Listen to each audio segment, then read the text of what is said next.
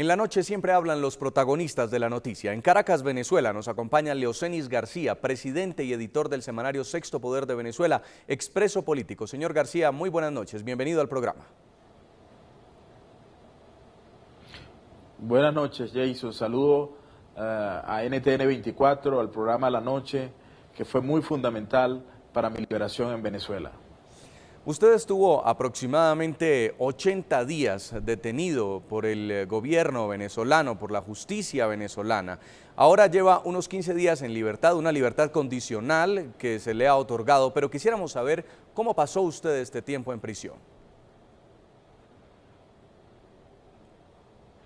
Bueno, eh, después que yo me entregué voluntariamente en el Core 3 de la Guardia Nacional del Estado Zulia, al occidente del país, estuve detenido en la sede de la policía política. Para que la gente que nos ve en Colombia o en otras partes del mundo entiendan, estuve en lo que equivale en los Estados Unidos al FBI, la CIA, o en Colombia al DAS, la policía política.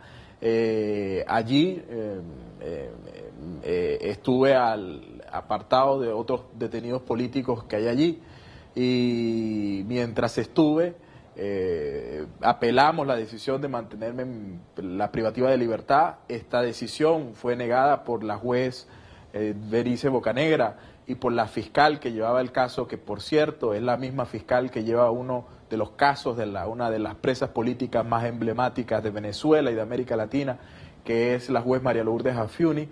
Y finalmente, cuando ya se habían cumplido más de 80 días que yo estaba detenido, eh, yo inicié una huelga de hambre eh, contra el gobierno del presidente Chávez, pidiendo la inhibición de la señora fiscal general de la República, la presidenta del TCJ y, eh, eh, y la Contralora General de la República, y igual que la defensora que aparecían como parte y como juez, me juzgaban y además aparecían como víctima, un caso que no tiene precedente en la historia judicial de Venezuela y de América Latina, de que eh, la fiscal general apareciera como, como, víctima junto con la presidenta del TCJ, cuando eran subalternos de ellos quien tenían que jugarme eh, con una situación como la que vivimos en Venezuela, donde los, todos, los poderes eh, todos los poderes públicos están sometidos a la voluntad del presidente Chávez, tanto así que la fiscal general de la República es la ex consultora jurídica, es la ex abogada de Venezolana de Televisión, que es el programa, el canal de propaganda del régimen, la presidenta del TCJ es una señora que ha tenido el desparpajo de poner a gritar a los magistrados del Tribunal Supremo de Justicia, UA, Chávez no se va, y la defensora del pueblo viene de militar en el partido Movimiento Quinta República, que fue un partido fundado por el presidente Hugo Chávez. La misma cosa fiscal que usted entenderá es absolutamente increíble, pero que Leocenis, la misma fiscal de la que usted nos está hablando, Luisa Ortega Díaz, la fiscal general de Venezuela, fue la cual usted caricaturizó en un artículo en su periódico y la vistió con ropa de cabaret, un artículo que veíamos en la nota, Las Poderosas de la Revolución. Esta misma fiscal, dice usted, fue la que ordenó enviarlo a prisión. ¿Cómo fue el trato en este tiempo en eh, el que usted estuvo privado de su libertad? Bueno, yo eh, eh, siempre había mucho respeto, la verdad, de los funcionarios de la policía política. Se me dio el trato de un prisionero político sin ningún privilegio. Ahora, eh, cuando yo empecé la huelga de hambre, allí se empezaron a ver irregularidades como por ejemplo que se me ponía comida o como es bien conocido, cuando yo tenía ocho días de huelga de hambre se me tomó por la fuerza, se me amarró y se me llevó al hospital militar para que se me atendiera médicamente, una cosa que está prohibida por tratados internacionales de derechos humanos como el Tratado de Malta. Eh, pero eh, en Venezuela, tristemente, como yo le decía, la justicia está manejada por un solo lado y usted sabrá que todas las constituciones del mundo tienen la separación de poderes como una manera de blindarse contra la tiranía, evitar que una persona pueda manejar o un partido político pueda manejar el poder judicial. El sexto poder fue cerrado, su directora encarcelada y contra mí se emitió como presidente de la Junta Directiva una orden de captura después que el Partido Socialista Unido de Venezuela, el partido de gobierno, eh, nos vilipendiara, eh, nos dijera que estábamos en una conspiración internacional eh, contra el gobierno. Y inmediatamente los poderes públicos actuaron en contra eh, nosotros. En el año 99, el señor presidente de la República envió una carta a la extinta Corte Suprema de Justicia, hoy llamada Tribunal Supremo de Justicia, que delineaba bien la idea que el presidente Chávez tiene del poder, que tiene del Estado. Chávez, después de mezclar a Montesquieu con Rousseau y nombrar a Bolívar y Marx, dijo, tengo que recordarle a la honorable Corte Suprema de Justicia la exclusividad presidencial en la conducción del Estado. ¿Y usted por qué cree, señor Leocenis García, que lo dejaron en libertad? Hugo Chávez está cumpliendo 13 años en el poder y mm, pues está tomando medidas como estas, detiene a las personas, eh, en algún momento las deja en libertad condicional, otras eh, las deja en su casa con prisión domiciliaria, pero no terminan yendo a juicio en ningún momento. ¿Por qué cree usted que está en esta condición jurídica en medio de lo que está pasando? Bueno, yo tengo que decir eh, con mucha franqueza que mi liberación respondió a una orden directa del señor presidente de la República, Hugo Chávez. Le explico por qué. El primer día que yo me declaré en huelga de hambre, a las 12 del día, yo declaré la huelga a las 8 de la mañana, a las 12 del día, en una rueda de prensa que transmitieron los medios de comunicación venezolana, la presidenta del TCJ dijo, Leoceni García es un preso más de los miles que hay en Venezuela y tiene que cumplir su, su, proceso privado de libertad. Este, primero, yo no era un preso más, porque ella no podía sacar otro expediente de ningún preso en Venezuela donde ella, siendo juez, apareciera como víctima. Después, a los ocho días, cuando me sacaron por la fuerza para el hospital militar amarrado y me internaron al hospital militar y yo me negaba a recibir tratamiento médico, la fiscal general de la República, Luis Ortega Díaz, dijo que a mí yo había sido trasladado para resguardar la vida, con lo cual el Ministerio Público estaba convalidando una cosa absurda.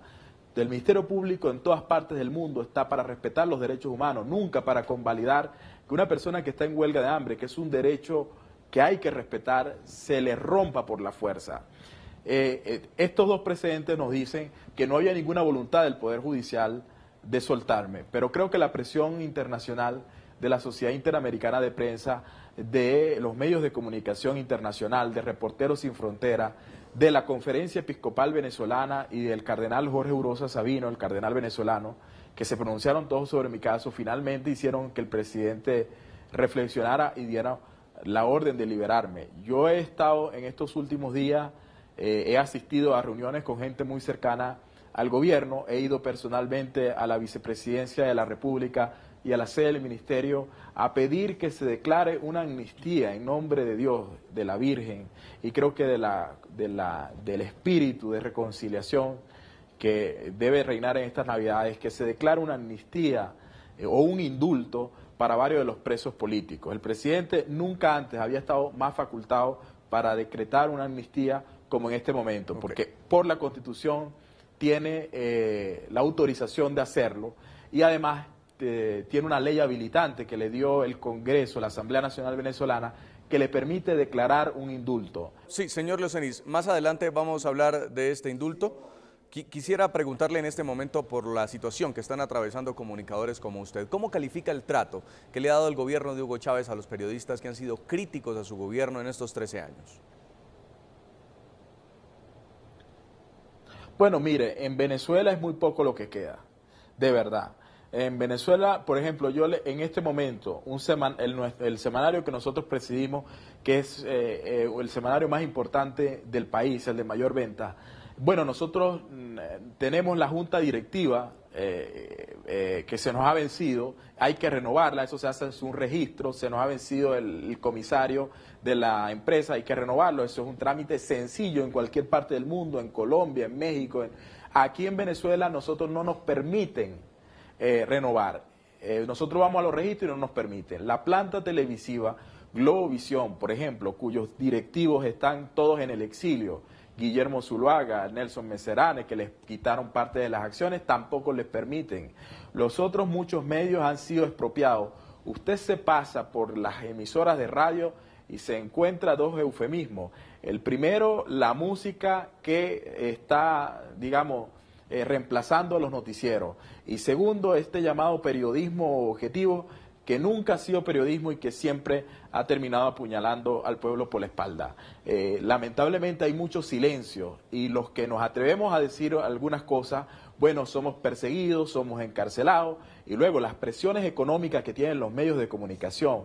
Por ejemplo, si eh, para que se escandalicen los que nos están viendo en el mundo, si en Venezuela un medio de comunicación, eh, una empresa de, pasta de diente pone un aviso en un periódico crítico como Sexto Poder, en una planta televisiva como Globovisión o un circuito como Unión Radio, inmediatamente le cae el CENIA, que es la organización de impuestos en Venezuela, y los asfixian económicamente, entonces los anunciantes no quieren poner en los medios, y como usted sabe, el principal alimento de los medios de comunicación es la publicidad. De verdad que lo que estamos viviendo en Venezuela es una hora triste, menguada, eh, por supuesto que en Venezuela podemos decir, a veces se dice, no, es que aquí prenda las televisoras y todo el mundo dice lo que le da la gana. No, todo el mundo dice sabiendo los riesgos eh, de lo que puede terminar pasando si usted dice las cosas sin censura. Usted verá cómo terminamos nosotros en la cárcel eh, por una caricatura. Imagínense que la, la, la campaña esta de Benetton se hubiese hecho en Venezuela, bueno, ese señor estuviese en la cárcel de Ramo Verde preso. Y mientras esto pasa con la prensa, vamos a ver qué está pasando con la justicia. Dos años va a cumplir en prisión la jueza venezolana María Lourdes Afiuni. Su caso es emblemático porque luego de una decisión que le otorgó la libertad a Eligio Cedeño, un banquero venezolano acusado de corrupción, el presidente Hugo Chávez solicitó para ella una pena de 30 años de cárcel. La abogada afronta por cargos de abuso de autoridad, evasión y asociación para delinquir. Este miércoles, la Fiscalía General de Venezuela solicitó aumentar su detención por otros dos años.